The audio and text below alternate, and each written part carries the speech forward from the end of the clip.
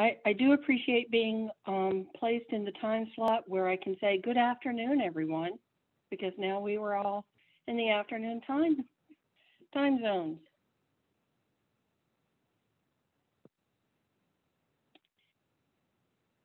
So I was asked to provide an overview for the Eastern Plant Board um, regarding spotted lanternfly and some of the things that um, activities we've been doing and things that we're seeing. So next slide, please. Um, as you can see, the states are, are uh, staying very busy with lots of activities regarding outreach to citizens, uh, treatments that are going on. We do have a lot of counties that have been quarantined, but we also have um, several treatments. Um, Delaware, over 2,700 trees have been treated uh, so far this season with insecticide. Um, uh, Connecticut is working very closely with USDA on treatments. Uh, New Hampshire and Maine have had some incidents where spotted lanternfly egg masses were moved to their states um, with egg masses. Uh, Maine is reporting that they've not found any spotted lanternfly since that event, uh, but they continue to survey. And New Hampshire has actually um, worked very well with their industry, and they have um, one of their um, leading nurseries that are taking this extremely seriously, and they have perfected uh, inspection methods as they are receiving materials uh, from other states, and they have got it down to a science where they are inspecting, scraping these egg masses, and then providing them to New Hampshire, who, who is actually uh, then uh, hatching them. So uh, that has been very successful uh, in keep in uh, letting New Hampshire know um, how they're coming in. There have been five out-of-state nurseries that have shipped um, infested nursery stock, and they are from multiple states. They are not just from one. Um, but again, it helps New Hampshire as they're monitoring and know where to survey. Next slide, please. So New Jersey, uh, currently um, 873,000 acres are in their quarantine over the winter, which is a massive undertaking uh, to do egg mass um, destruction. They've destroyed over 61,000 egg masses. And when you consider that there's 30 to 50 viable eggs, uh, that's, that's a considerable knockdown. So kudos to them for their efforts as they've been doing that. New York did a tree removal and chipping of host trees in Ithaca, New York, um, and they have seen results of reduction of population. And this was actually um, a good win for them because it was done at no cost to the state. Uh, they had a utility company that actually completed this work. Uh, so that's a good indication for states. Make sure that you're reaching out to various industries uh, you might be surprised at some of the new friendships you find and um, build as you're trying to um, eradicate or work on spotted lanternfly. They are also currently working to have other agencies within their state be able to treat spotted lanternfly on their own properties, and they have certain processes that they are going through. They are seeing significant increases uh, in reports from Manhattan and Brooklyn.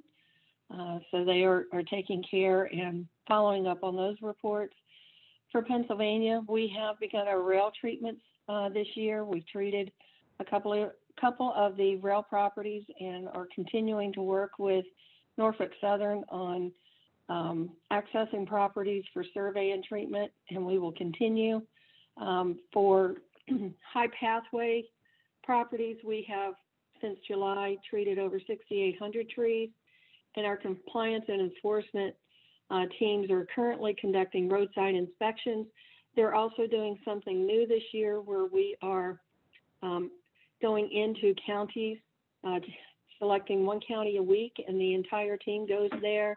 Uh, they may work very closely with Penn, um, Pennsylvania State Police to set up a roadside inspection. Again, we're kind of broadening uh, how we work with state police um, in doing those roadside inspections, but it's also an opportunity to reach out to businesses uh, who are not permitted. It also is allowing us to do audits uh, of businesses that do have permits um, and allowing us to see that they are actually uh, providing the training and uh, maintaining the paperwork that's required by our quarantine.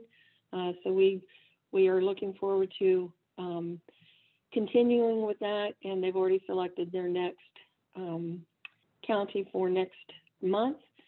Uh, West Virginia, they currently have three counties with known populations, and they are not considering a quarantine at this time. Next slide, please.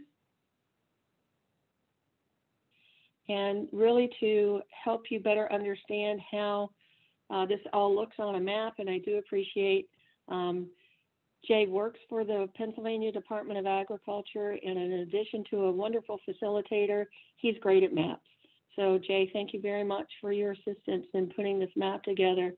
Uh, the counties you see in blue are quarantined.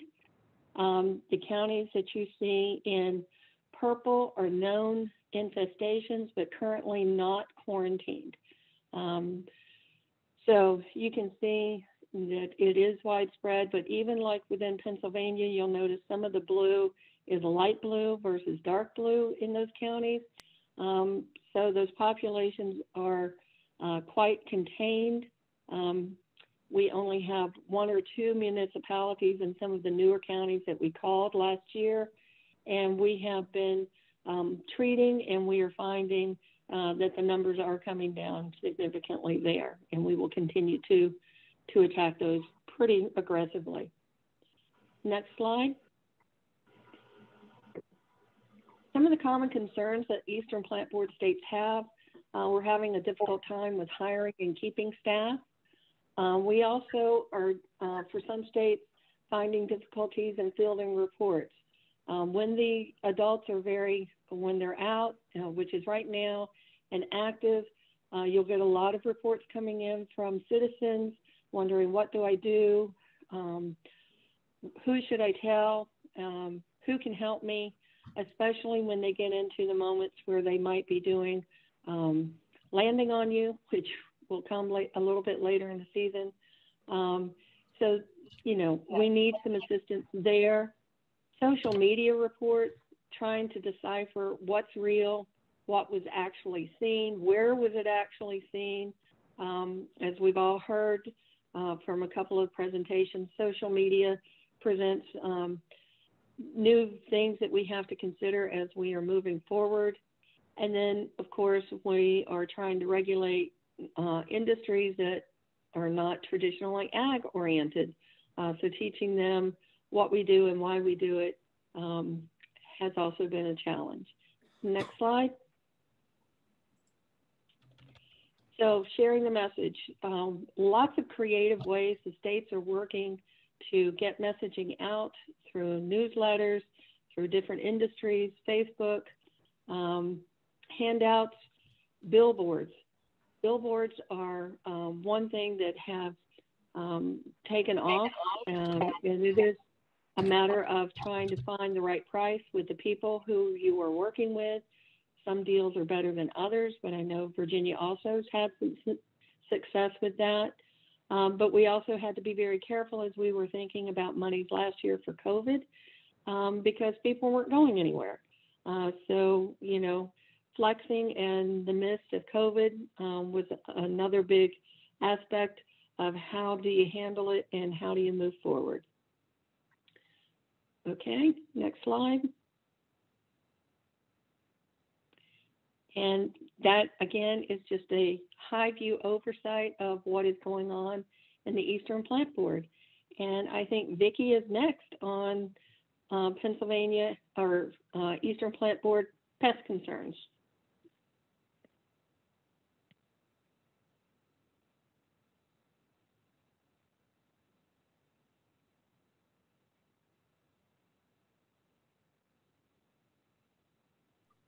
Thank you, Dana. Um, I need to be able to share my screen. Am I going to be able to do that? Yep. Yeah, you are a co-host, Vicki. Go ahead and uh, you should be able to have that share screen option at the bottom of your screen. Okay. Let me get my So- Okay, I'm having trouble here.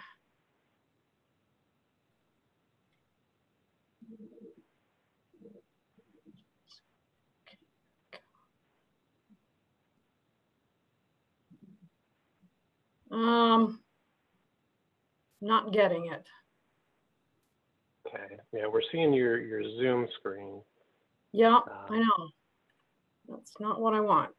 Okay, at the top of your screen, there's an option, uh, in your view options, you can select stop share. Um, and then when you click on share screen again, uh, try and select the one that has your, your presentation on it. That's. That's what we're doing. There we go. Okay. Yep, you, All right, good. Thank you. Thank you for your patience. I'm Vicki Smith at the Connecticut Agricultural Experiment Station. We've had some discussion in the Eastern Plant Board concerning beech leaf disease. This is a uh, fairly uh, new disease for the Eastern Plant Board, at least. I know the folks in Ohio have been dealing with it for a while, but it seems to be the neglected child of uh, diseases to come along. And Gary Fish and I have worked together and put together a uh, little presentation as to why we think it matters. Beech leaf disease was confirmed in Connecticut in 2019. And since that moment, it's been going like, well, I said the other day in our meeting, I said it's been going like a uh, Oregon wildfire. We have found it since then in all counties of Connecticut, as well as in Rhode Island, Massachusetts, and Gary has found it in Maine. Um, the affected areas are rapidly growing and the number of affected areas is increasing. Um, American beech is not very significant as a timber species, but it is a very important mast species. Basically, everything from mice to moose utilize beech nuts as a food source. Has any of you ever eaten a beech nut? Probably not, because the animals get to them as soon as they fall to the ground. You'll probably never find one. In addition, uh, beeches are mycorrhizal with a number of species of mushrooms that are used as a food source by um, invertebrates and small animals. Um, beech, American beech can stabilize erosion prone soils by sending up lots and lots of root sprouts. Given that the seeds are so rapidly eaten, the tree reproduces primarily by these root sprouts and they can stabilize erosion prone areas. American beech is not a major nursery crop, at least for the Connecticut nurserymen, but European beech certainly is. Beech leaf disease has been shown to move in the nursery trade. Um, we actually found uh, beech leaf disease on some nursery stock from another state earlier this year. We don't know the level of susceptibility of European beech to beech leaf disease. So there's just a lot of questions there concerning um, uh, beech leaf disease in the nursery industry. Uh, American beeches, at least in most of the East Coast, is already under assault by beech leaf, uh, beech bark disease, which is a complex of an aphid and a fungus. So American beeches are already uh, it's sort of in trouble from beech bark disease, and now we have beech leaf disease to worry about as well. One thing that really bothers me is that there's really no management guidelines for beech leaf disease for land managers, nursery producers, or for homeowners. I really just hate it when someone calls me, describes what they're seeing on their beeches, and I have to tell them, well, that's just too bad. Your trees are probably going to die. I don't think that's a very good answer, but that's the only answer I have. We are already documenting tree decline and probable tree death due to beech leaf disease. We just completed our annual aerial survey of the forested areas in the state. And we found several areas where um, there was considerable canopy decline, um, canopy uh, disappearance, lots of discoloration, and we ground truth those to be beech leaf disease. So we're already seeing uh, considerable tree decline due to beech leaf disease. Just a quick map here I'll show to you. This is uh, from my colleague at the experiment station, Bob Marra. He's doing research on beech leaf disease. Um, the um, the uh, uh, red uh, crosses are where he has found uh, beech leaf disease positives. Our first find was in lower Fairfield County at a private residence. We've since found it in, in every county of the state. Bob has set up some long-term uh, survey uh, sites in, um, in each county. And like I said earlier, we found this disease in um, Rhode Island, Massachusetts, and Gary Fish has reported finding it in Maine. So uh, the issue that we have here is it's kind of a neglected child. Um, we have been uh, having difficulty in really getting anyone to pay a lot of attention to this. I think it's going to increase in importance in the next few years. It's coming as quite a blow to us as well because uh, we've basically lost all of the ashes in southern New England from emerald ash borer, and now we're just afraid that we stand to lose all of the American beeches in the forest due to beech leaf disease. So we just kind of wanted to bring this to your attention um, as, as sort of the up and coming um, forest disease that uh, we're looking at. That's all the slides that I have. Um, so if you have any questions, I will try to address them. Thank you.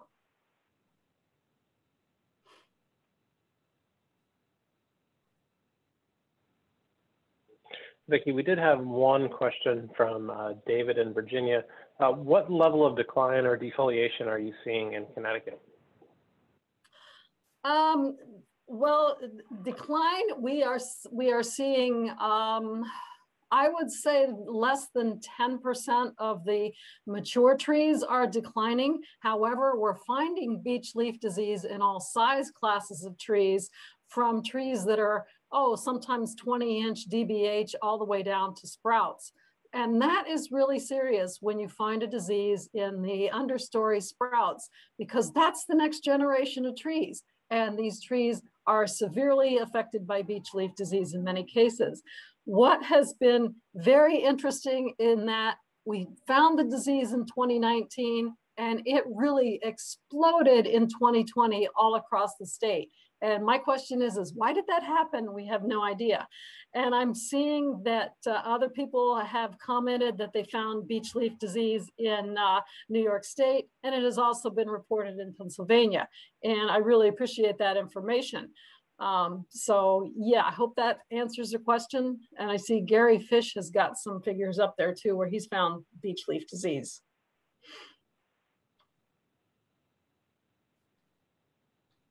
Um, Anthony, do we have a sense of how this disease spreads?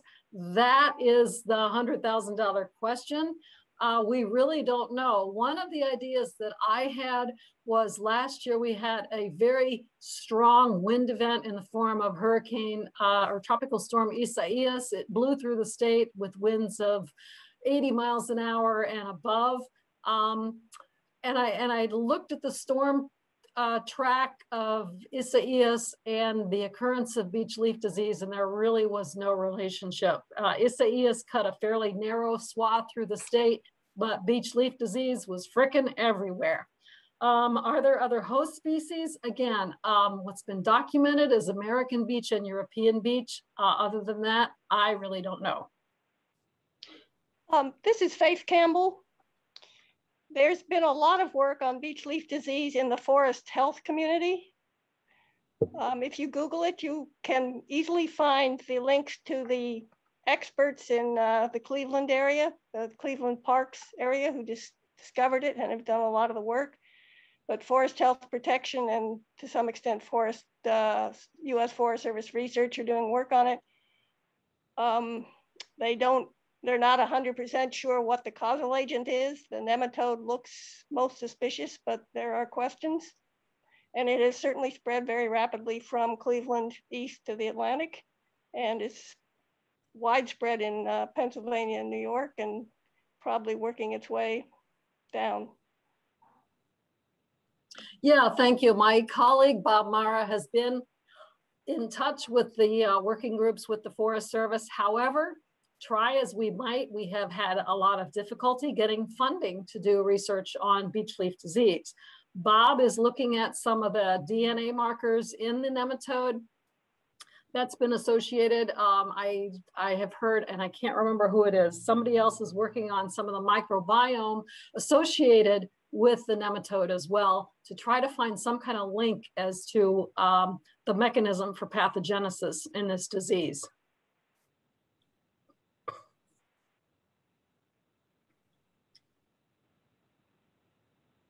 And I see Yeah, and- David. And and- David just, Yep. Yeah, David and Virginia just chimed in, so this is really interesting uh, of all the different po- people that are chiming in positives.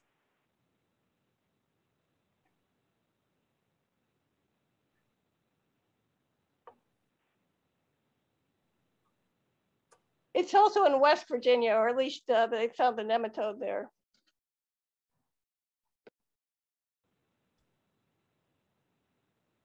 Will I put in uh, my part now or? yep, go ahead, Gary. Well, in, in Maine, uh, you know, we hadn't seen it at all in 2020 and then 2021, all of a sudden we had a report from a couple that watched their beech stand quite closely. And when our pathologist uh, from the Forest Service went out to look, it was obviously beech leaf disease and confirmed later on. And since then, we found it up and down our mid coast, uh, pretty widespread, and you know a lot of a lot of damage, a lot of defoliation, and also in older trees. And we have the similar concern about the beech bark disease and, and what that might uh, entail, the combination of both, and whether that will cause us to have a lot more mortality than maybe they're getting in some other areas. And I will then go into my, my other part here. And I get this to work.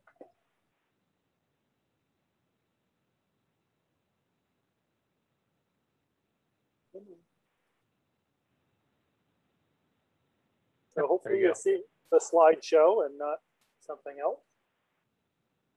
And uh, so I'm, I'm going to talk about brown tail moth. Uh, probably not many of you have heard of this insect before. It's definitely not my favorite caterpillar, and you can see the tenacity of some here as to trying to uh, manage this pest because it's it's a really a, a pest. And it originally came from Europe and probably introduced on plants that uh, came in from Europe in Somerville, Mass. And it was near a railroad and took off from there. And it is related to Lymantria dispar, which we don't call that other name anymore. And it has a very wide host range. It especially likes oaks, but birch, cherry, elm, poplar, especially loves apples, crab apples, other hardwoods, roses. It's it's pretty uh, widespread and and it is quite voracious, especially this year.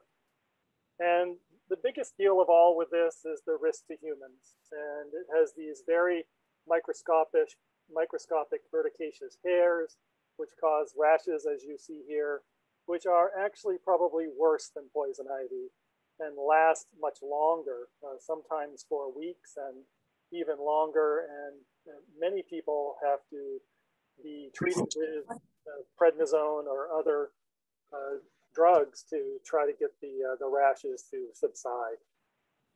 It's a pretty nasty thing. And there is a, a fairly long history in, in New England uh, for this pest. And you can see here where they used to have a bounty on uh, collecting the overwintering nests that are in the tops of trees or on the, the ends of uh, branches for smaller plants. And you can see them uh, here trying to get them in an orchard. It was a major orchard pest. And I'm not sure exactly what they paid, but uh, we, we've heard as much as five cents for 100 nests or something like that. Back in the 1920s, that was quite a bit. And the population has uh, expanded and retreated over the years. Uh, in the 19 uh, teens, it was all the way out into the Maritimes and all the way over into Vermont and down into Connecticut and even onto Long Island.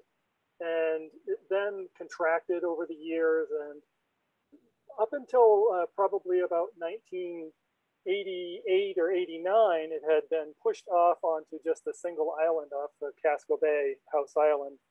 And then uh, it was deregulated and they stopped trying to clip the uh, webs. And ever since then, it's been moving back onto mainland and, and kind of taking over.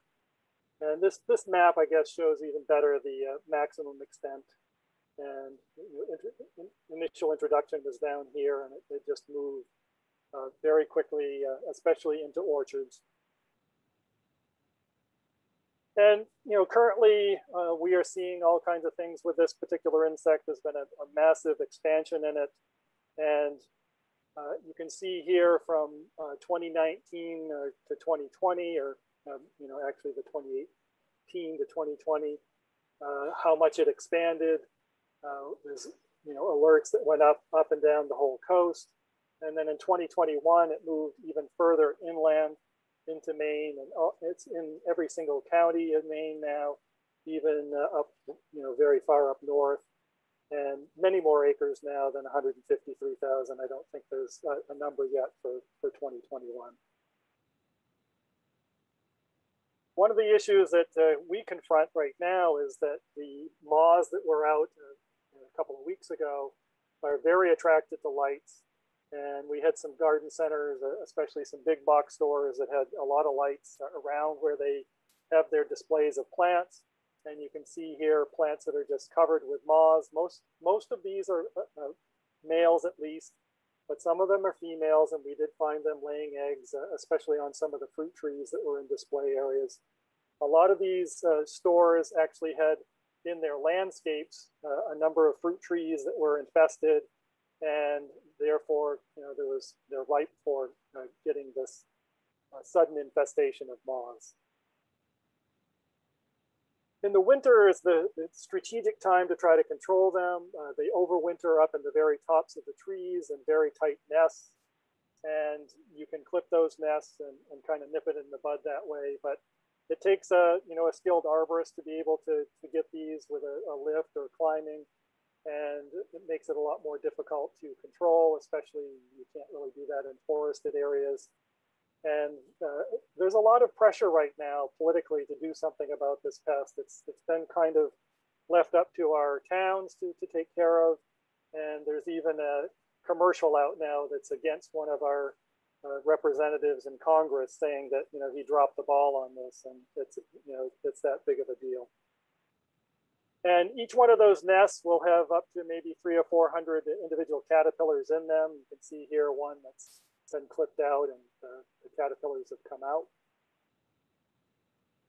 And, you know, as far as managing it, it, it is, a, a, you know, kind of complicated. You can do the winter webs. You can survey for those, those um, tight webs, especially when it's a kind of a, a bright winter day maybe with a little bit of clouds, and you can see that they actually shine like a, those uh, jewels up in the top of the tree. Unfortunately, those aren't very nice jewels. And basically, the, the real difficulty is, is that you have to treat very early, and there's really no foliage there to apply to. So there's a lot of injection treatments that are done. And, you know, above and beyond that, personal protection measures are really required. I think probably all of our staff has had the rash this year, and it's not not any fun. And uh, you know, it's something that we hope is not going to continue to move into other areas. Uh, it's funny that it kind of hasn't been in New Hampshire. You kind of go across the border and you don't see it, but it is in uh, in Massachusetts. It's out on Cape Cod, and they have started to find uh, some populations inland as well. And uh, you know, I don't know if Karen can talk about that later, but it, uh, it's definitely a pest that we wish had never been deregulated because maybe it could have been eradicated. And I'll uh, I'll leave it at that.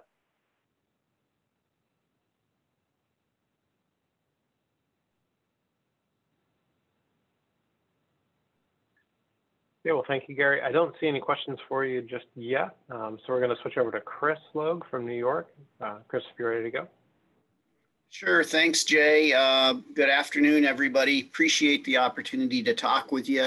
Um, I do not have slides prepared. I figure you probably have seen plenty of slides here over the last couple of days. And frankly, my topic is uh, is perhaps not quite as as developed as as some of the others that you've heard from my colleagues here in the Eastern Plant Board.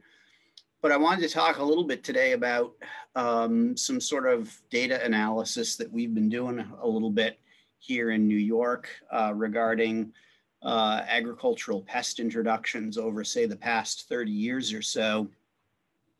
Um, and uh, here in New York, and, and, you know, kind of the preliminary things that we find about these introductions are things that perhaps are not all that surprising. Um, of of the 30 or so pests in the last 30 years, uh, about half of them uh, showed up in counties uh, in metropolitan New York City area, Long Island, out through there, and then the other half uh, in Western New York. And so um, when you think about that, that makes perfect sense. Um, you know, New York City, a lot of international travel, a lot of international business. And then when you look at uh, the Western New York counties, you have um, an international border there uh, with Canada that's uh, about 450 miles in, in length. Um, just make note the international border with Canada across uh, the whole country is over 5,000 miles in length. And also, uh, Canada is our largest uh, trading partner. Um, we've got four of the busiest uh, border crossings into Canada um, in, in the country here in New York State. So I don't think, you know, sort of that initial analysis is anything, anything that surprises us. We know that with trade, you're going to have um, introductions and, and sort of, if you will, cross-pollination back and forth among nations. And so we certainly expect that. And I would say, you know, in particular, the, the plant pathways, the traditional pathways we work in, I think we do a pretty good job of uh, keeping track of these things, but perhaps some of the other pathways um, need a little bit more attention. Um, but I did want to talk a little bit more specifically about Western New York. Um, and again, as we we're just very early into the process of looking at, at these different things that have happened over the years, but you know, clearly some of these are things that probably came in through trade um, or could have come in through uh, smuggling uh, types of things. And others, uh, frankly, appear to be uh, natural spread into New York. And um, that's really kind of the area that has interested me in the last couple of years with um, plumpox virus and, and European cherry fruit fly. Um, and again, I'll, I'll, I'll say that with plumpox, I think the initial introduction into New York was probably through plant material and human assisted, but we do have a risk of reintroduction uh, through aphid transmission that some models predict happens very soon. But kind of where I wanted to go a little bit with this today is just to kind of throw out there um, that uh, when you have natural spread back and forth across an international border, um, and you have perhaps policies that conflict in the two countries as far as how these things are, are addressed, um, that can create, uh, create some challenges for the regulatory agencies as well as some challenges for um, the ag industry. And in particular, in our Niagara region in New York, we you know, continue to see that. That's where we've had plumpox virus. Uh, that's where we've had uh, European cherry fruit fly, and it's you know on the Canadian side where um, the box tree moth is, and so very very concerned about uh, the continued um, conversations with Canada, how we work better together, and I'm not not here to to judge. Um, you know, what approach is better, uh, the approach on, on the Canadian side or the approach on the, on the US side of the border. Um, but what I can comment on is, is that these introductions are costing uh, everybody quite a lot of money and time um, for regulatory agencies, but more importantly for our ag industries, which we're here to serve. Um, and again, you know, just to comment, this is this is sort of similar to to the trace forward conversation we had the other day, where uh, you have an emergency and you have to put staff onto it. This is similar to that when you have, an, have a new introduction in a state. Um, so just to kind of sum up here, uh, you know, we're going to continue working a little bit on our analysis. I wanted to bring this up at National Plant Board. Um, again, you know, referring to the fact that there is a very long international border. This might be something that, that's of interest to other states. Um, certainly, I know it's of interest to USDA, and I hope uh, you know that that states that are interested, as well as uh, folks at USDA who are interested in talking a little bit more about this in the future, will uh, will uh, reach out. So with that, I think that's really all I had to say. Appreciate uh, everybody listening.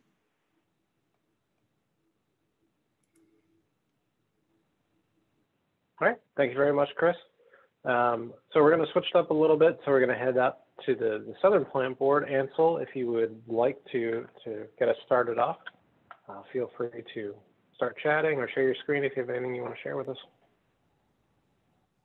Yeah, I don't have a screen or presentation to share with the group, but I do want to uh, turn it over to two representatives from Southern Plant Board. Um, I'll start off with Mr. Joe Collins from Kentucky uh, to give us an update on Laurel Wilt.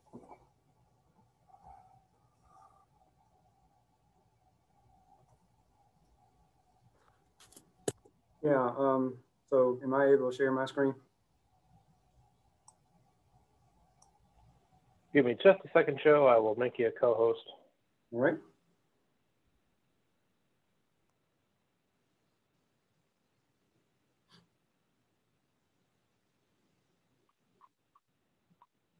This is going to be very short. Ansel and I were emailing back and forth, getting this prepared. Okay, you are now a co-host. You can you'll have that share screen option will be available to you at the bottom.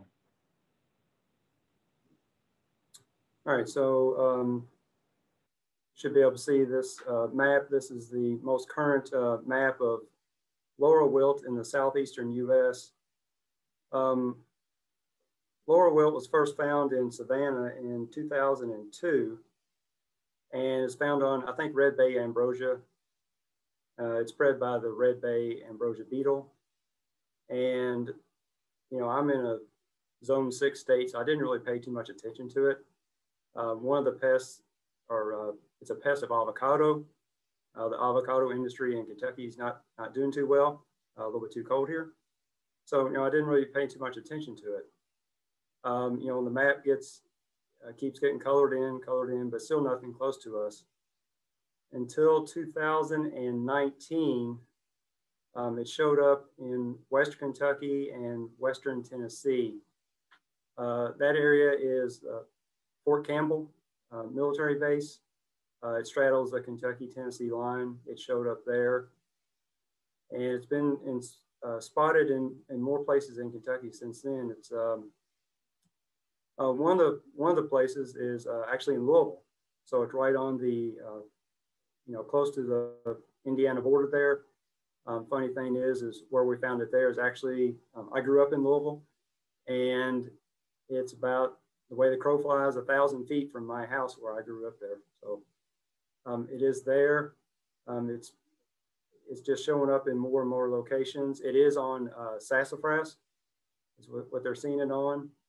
Um, you know, for the nursery industry, you know, we haven't been paying too much attention to it, but uh, Spice bush is also a plant that is can be a host. So uh, we've had to, to learn a little bit more about that with our inspections and, and start to um, look for that in the nursery trade.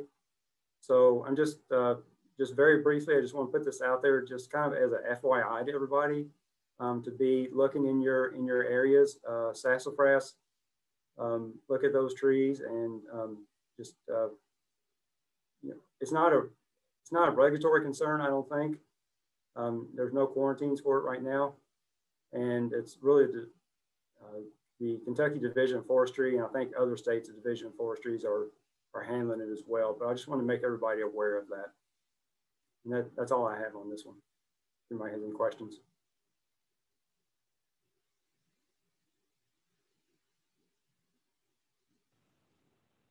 The one question did come up. Um, is it limited by cold winters? I'm gonna say no.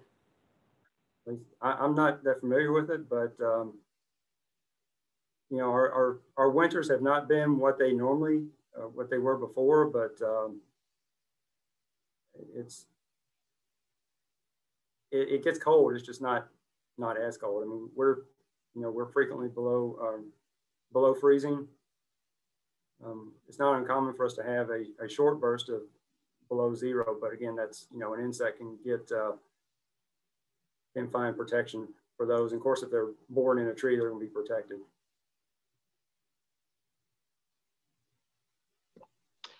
Um, this is Faith Campbell, um, a professor at, Mich at uh, Mississippi State did a study of the insect, the vector insect, and it can survive uh, winter temperatures that would go up into Michigan.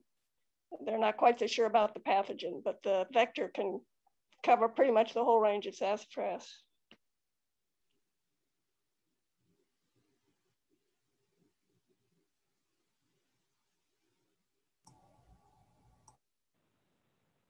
Yeah, and, and Scott Schirmer just shared as well that they have forecasters in southern Illinois that are concerned about it as well.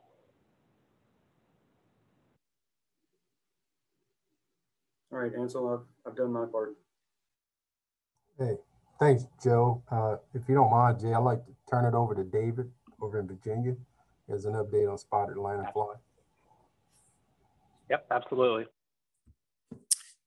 All right, so good afternoon, everybody. I uh, hope you can hear me okay. I don't have a presentation uh, at this moment, uh, but I will give a brief update on spotted lanternfly in Virginia.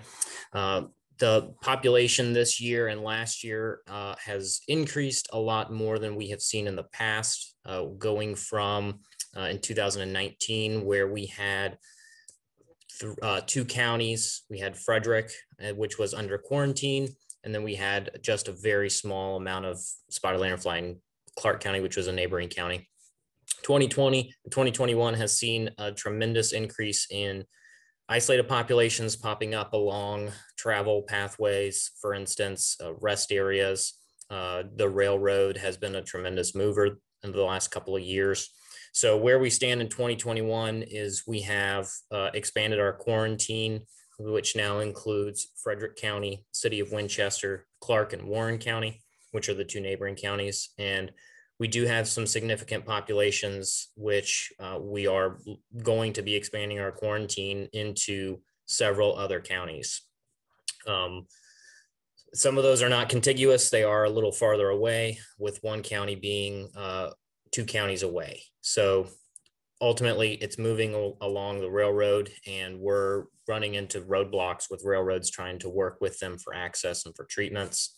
So uh, that's an ongoing problem that we are trying to address, working with railroads and working with counties to, you know, get in there um, and respond rapidly. Uh, I would say we have had two situations where we responded quickly. Um, one was a find of several adults, or sorry, several fourth star, fourth instar nymphs on some sticky bands and in a circle trap. That was found at a rest area. Uh, we kind of panicked and had a very quick response with USDA bringing in a bifenthrin spray truck. Uh, we did extensive surveys and massive egg mass scrapings uh, and surveys. So that site, we've been back multiple times. That find was in the middle of 2020, so the summer of 2020. We've been back several times since and no evidence of spotted lanternfly at that site. So it was a very quick response within a week. And we feel very comfortable after doing surveys that we eradicated that population. However, uh, in the other situations where we have found it um, along either railroads um, or, you know, at, at, a new population site, uh, by the time we get there, if we don't respond as quickly, um, most of the time it's it's too big of a population or upon surveys we have found that it's been there for more than a year more than a season so um, we're struggling to really kind of reallocate our resources because it's spreading at a rate that now we're having to prioritize where can we do treatments where should we be doing treatments? Should we be focusing on the generally infested area um, or should we be focusing focusing on these isolated populations? So um, i actually do have i wonder if i might be able to share my screen. Um, jay i do have one thing popped up that i would share with everyone if i could get that ability Okay, you should be good to go, David. Thank you. So what we developed is this is just a really brief um, just image. We developed this priority matrix in consultation with USDA to make sure that we were prioritizing our treatments. Uh, we developed this priority matrix where we could look at what's the risk of the transportation for this site. Um, is it connected to the generally infested area? Is it a high population? Is it a reproducing population? And is this a new county fine? So this was just something that we came up with real quick to say, um, you know, man, this is getting very difficult to manage and we have to figure out how to prioritize it. So um, by answering those questions, you can assign the priority of that site, uh, either a three or two or a one. One being a high priority, that's the one that you really want to get to uh, and respond rapidly and have the most impact in reducing the spread. So that's just something that we have, uh, that was the end of 20, no, yeah, end of 2019. And we've been working with this kind of decision matrix since that time. So um, other than that, we do have plans to uh, further expand our quarantine. Uh, we do have several counties where our activities are not eradicating those populations. Um, in others, we are working real hard to try and uh, get in there and treat as heavily and as within the environmental assessment as possible to reduce those populations. Another challenge that we run into with spotted lanternfly in at least in Virginia is we're having some uh, communication and outreach. We're telling people about spotted lanternfly and we're just working to develop and can continue to finesse the communications where we're not promising that every property is going to receive treatment, that it's all you know based on resources, that we need to get community involvement and engagement as well. And as Dana mentioned, putting out outreach and, and figuring out the best way that we can assign our resources for those outreach. So, you know, do we put up billboards or do we put them in rest areas?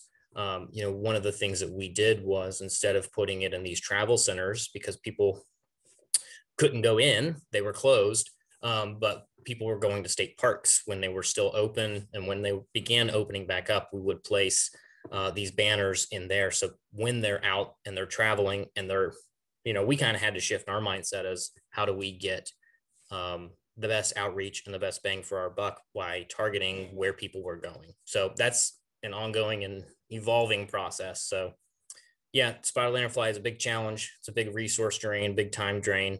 Um, but again, we're still trying to do everything that we can to prevent it spread and rapidly responding to sites um, having a toolkit ready to go is the biggest thing. Having treatment options, uh, those are really important pieces.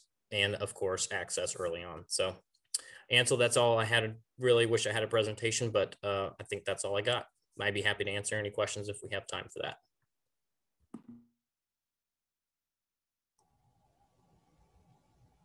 Thanks, David.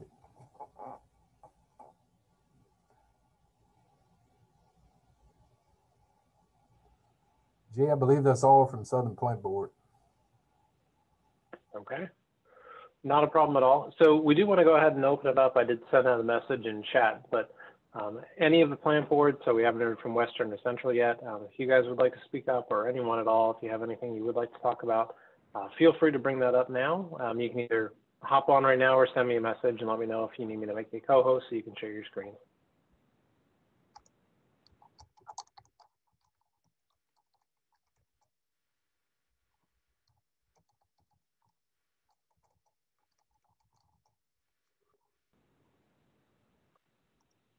David, a, a, question did come up in the meantime about uh, a question about what was in the toolkit for spotted lanternfly.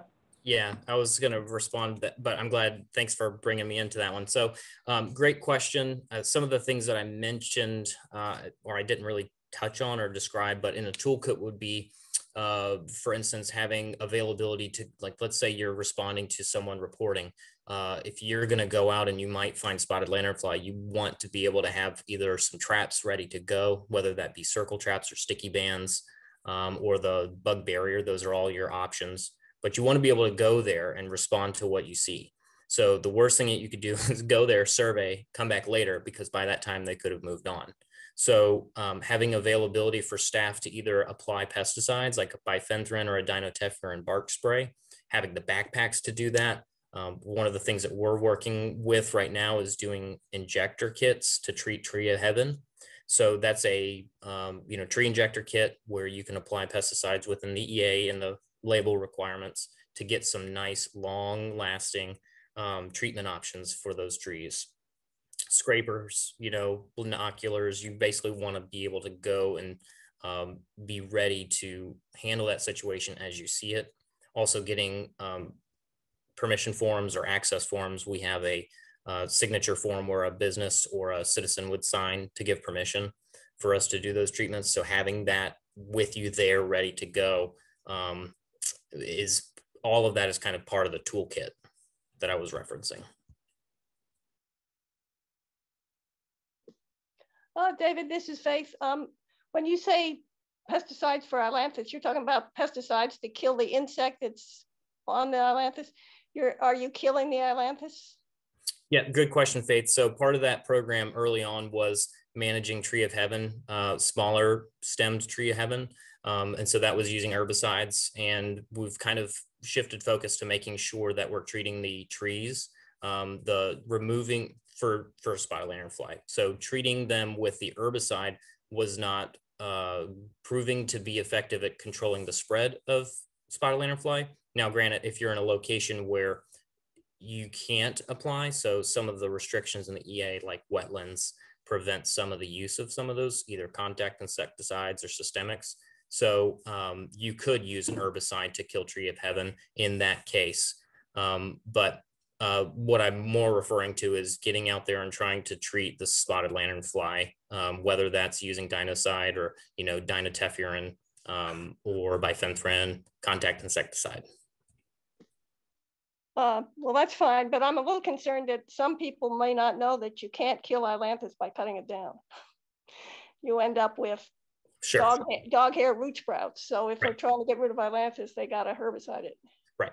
And, and most of the recommendations that we have for treatments, we have a, a good handout that came with um, uh, Virginia Department of Forestry. That's what we give our landowners and um, most of the people that are doing the treatments for the herbicides are following the recommendations of using herbicides to kill the tree heaven and then also making sure that those sprouts, those resprouting trees are managed appropriately as well.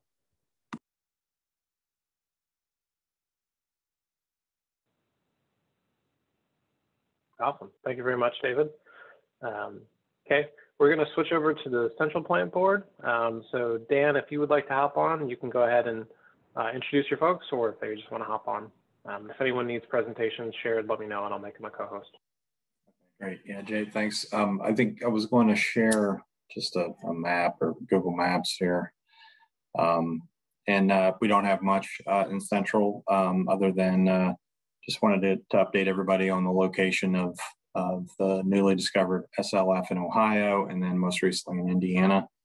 Um, and then uh, I think Scott would like to uh, just kind of go through a little case study of, of uh, giant African land snail that happened in Illinois. Um, so we'll be we'll be brief. Um, yep. You should be able to share now if you want. Okay.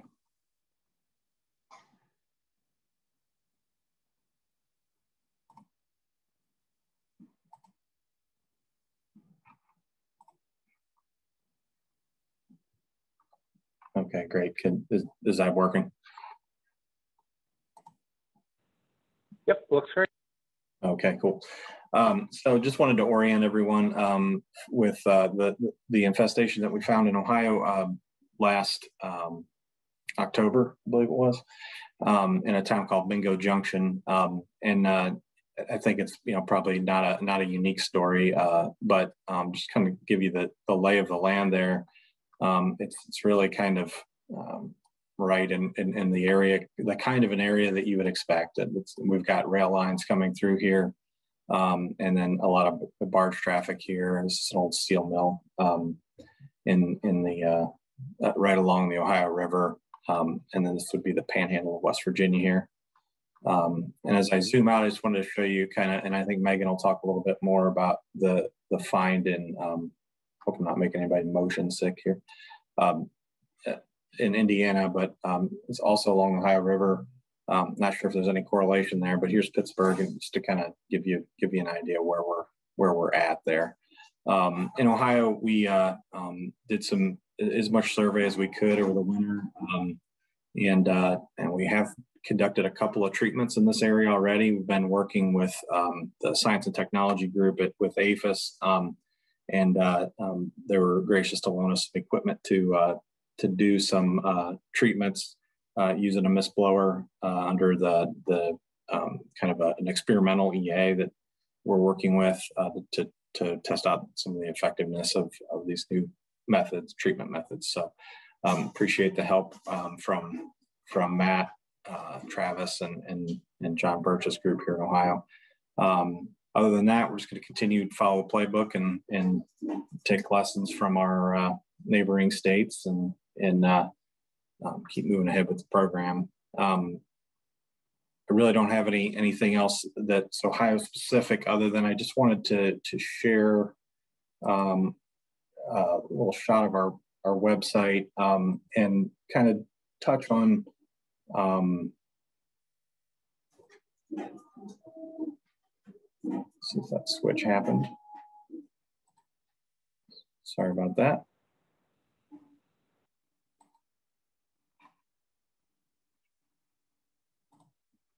Okay.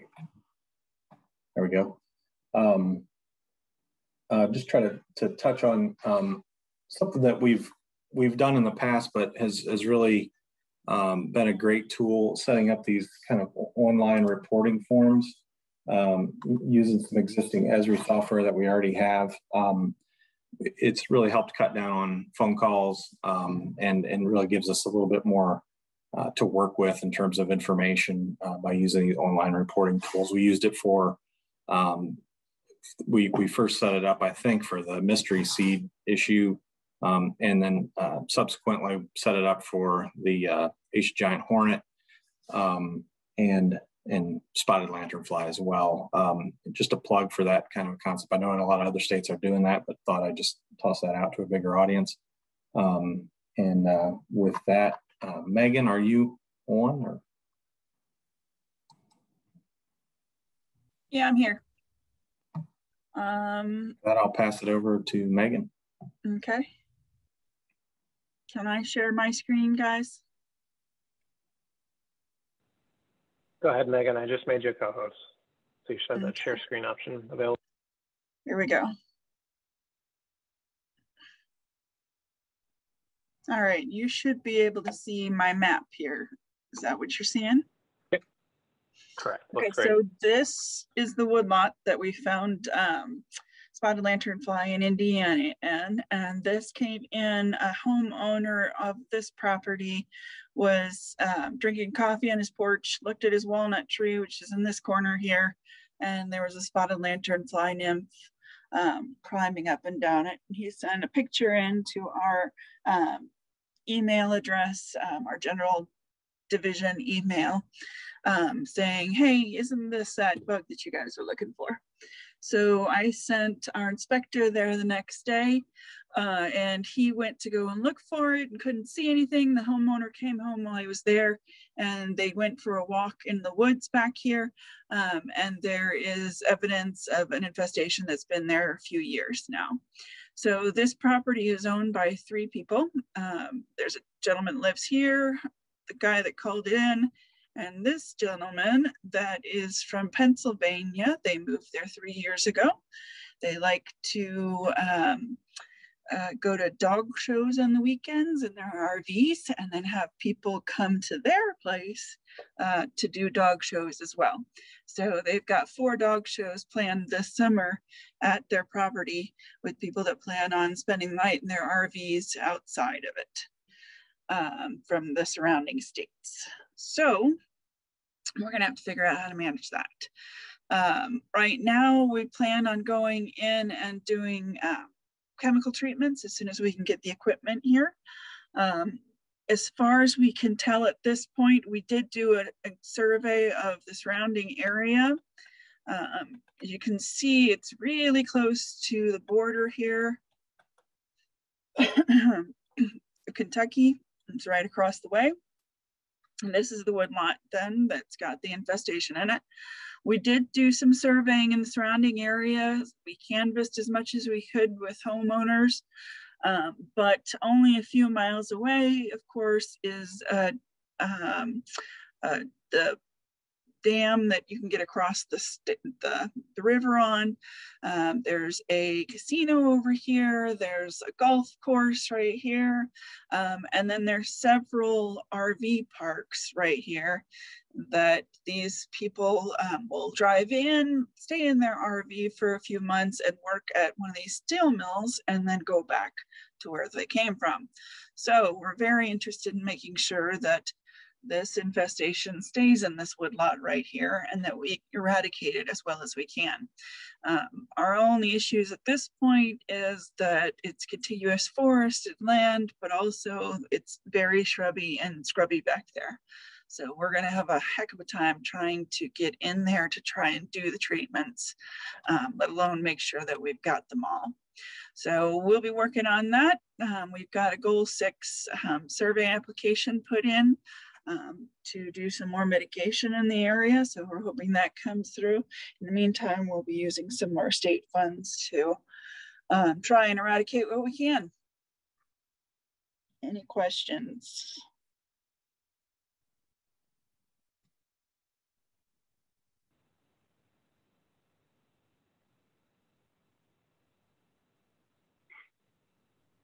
So Samantha Simon, you have your hand up if you want to go ahead and ask your question. Thanks.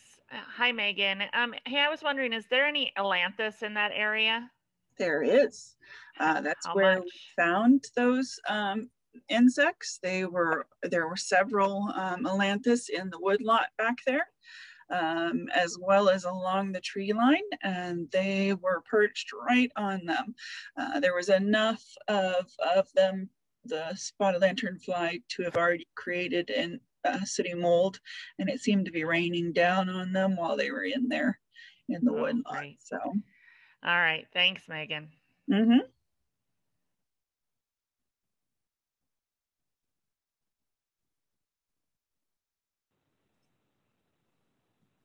Okay, thank you very much, Megan. Um, Dan, we're going to go back to you for just a second. We had a question regarding uh, spotted lanternfly reports and as to who actually follows up on those reports for you in your state.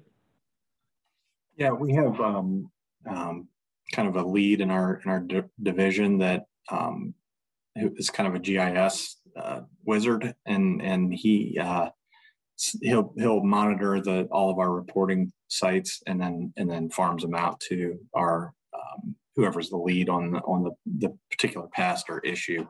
So either our, some of our lab techs or our particular inspectors or managers that we have on staff.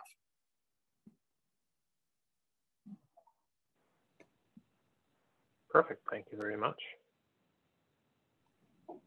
And then Jay, I And I think believe we had. said, Yeah, we'd have uh, one other topic to touch on. Um, Scott just wanted to kind of go over a little experience experience in, in Illinois with, uh, with snails.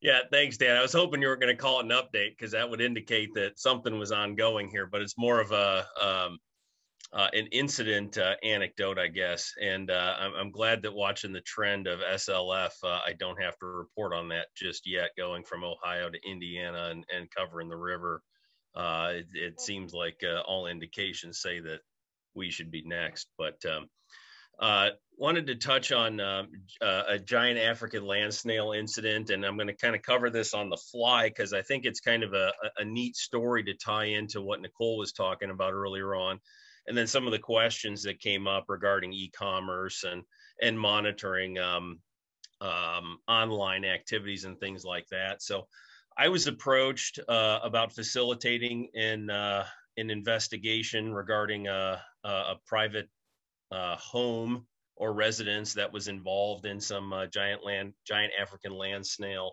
uh, activity. Um, and, and, the, the real purpose of it was to kind of facilitate access and, and communications on, on a local level to, to gain access to the property and, and look into um, um, the presence of the snails. Um, so working with uh, with the Department of Agriculture here, and then uh, me reaching out to to DNR or or facilitating those contacts and getting a uh, um, a conservation police officer on site along with local police um, because it was a, a relatively complicated situation um, from a from a personal and um, I'll call it a clientele level. Um, but long story short, we went, we were able to get up there. We were able to to search the premise, and and we found nothing, which was which was quite disheartening. And and I don't know if Trevor's on here or anybody else that's dealt with uh, with GALS, but uh, it certainly led to some jokes about. Uh, I guess the escargot away, and and how'd you let them slip away, and things like that. But anyway, um, the most interesting thing I think was that be, just because we didn't find anything or didn't find any evidence on site um, didn't mean that that it was basically throw your hands up and, and investigation over. And, and this is kind of where I'm, I'm going to tie things into to Nicole's presentation and and some of those questions is that um, the the online activity and the postings and the the purchase records um, were were probably one of the strongest um, bits of evidence. So um, you know if you're ever involved in in these kinds of situations i guess the take home messages don't don't get disheartened. Do what you can. Try and help what you can. Um, you know use your trained eyes use your use, use your um, inspectors and your resources to try and find what you thanks david. I appreciate that. That that's a new one.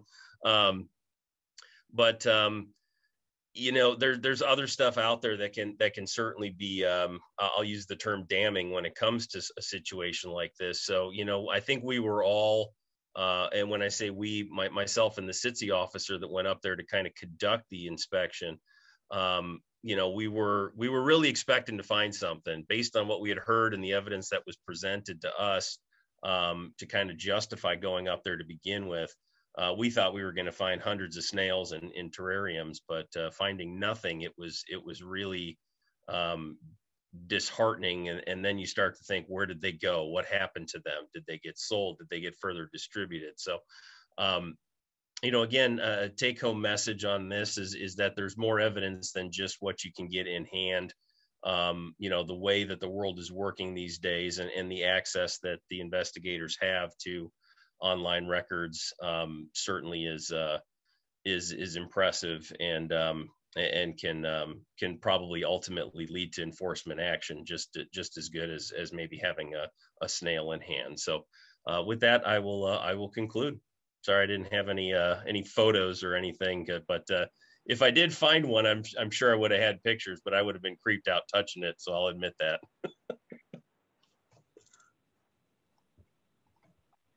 All right. Well, thank you, Scott. Sure. That's it for Central, Jay. Thanks. Okay. All right. Thank you, guys. Uh, it was a great update. Uh, I will take a brief moment, and I feel like I should plug my part of the program as well for Spotted Lanternfly. So, um, just really quick, we did do the Spotted Lanternfly 101 and the Spotted Lanternfly Summit in February of this year. Um, we did go into a lot of information about following up on reports, all that kind of stuff. So that's all available on our stopslf.org website, which um, I'm going to go ahead and post into the chat if you haven't seen it. Um, and with that, I will stop my terrible plug and we'll get back to, to this discussion. So um, anyone else would like to share? We still haven't heard from Western. If you guys would like to bring anything up. Hi, Jay. This is Mia. Um, was unable to attend today, um, it's my understanding. And um, I don't believe Ian is on as our VP. So um, Jake um, Bodart might present some information and update on Japanese beetle. Thanks, Mia. Um, so for Japanese beetle in the West, uh, in Oregon this year, we treated our treatment area of around uh, 4,000, what is it? 4,325 acres. Uh, and then we had a little bit of spread of Japanese beetle over into a new area. Thankfully, we did a granular and foliar treatment in that area as well.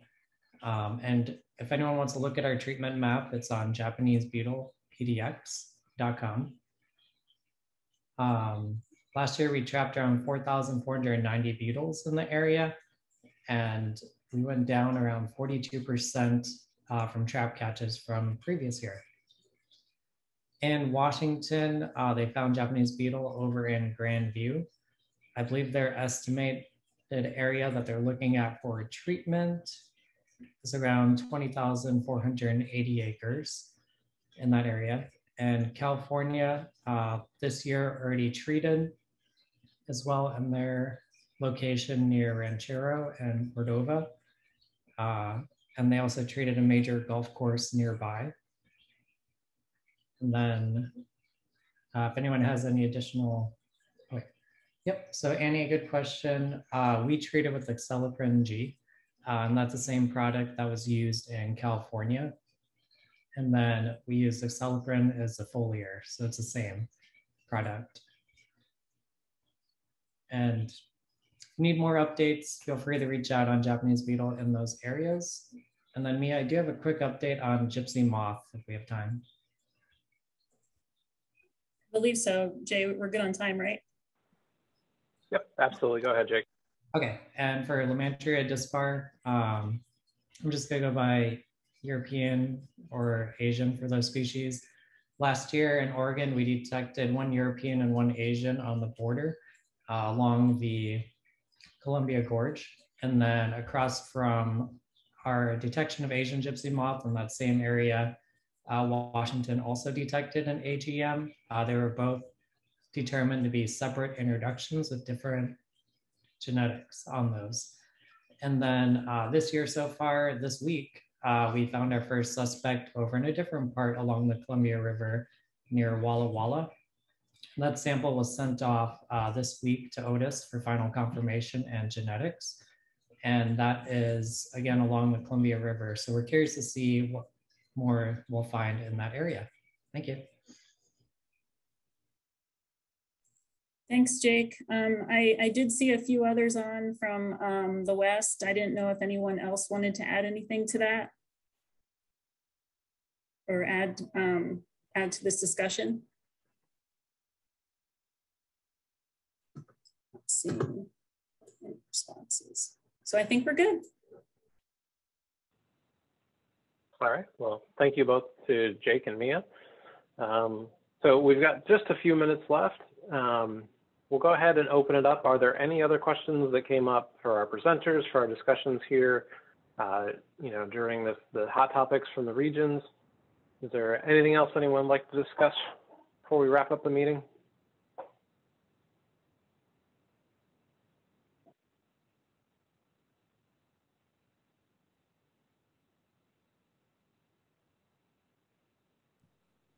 Jay, this is David from Virginia. If, if um, I know I put a picture up of that uh, priority matrix tool. So if anybody wants that, uh, I'd be happy to share it. I've got it in a PDF form or a P, uh, uh, PowerPoint form, so it's editable.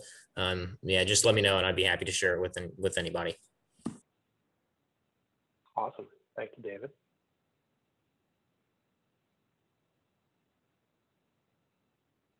We'll give it one more moment. We'll go ahead and put Julie on notice that we're we're coming to the close here. She's ready to go.